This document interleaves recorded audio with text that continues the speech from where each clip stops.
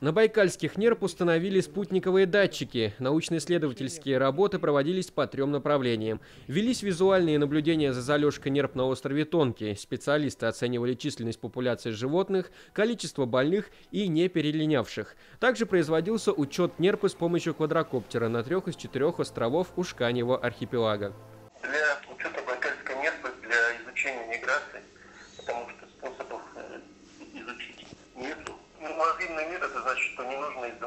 животное из всех среди. Гуманный метод изучения вот, популяции животных. Один из. С нерпой сложно, потому что ну, а, отловить потом отловить повторно практически невозможно.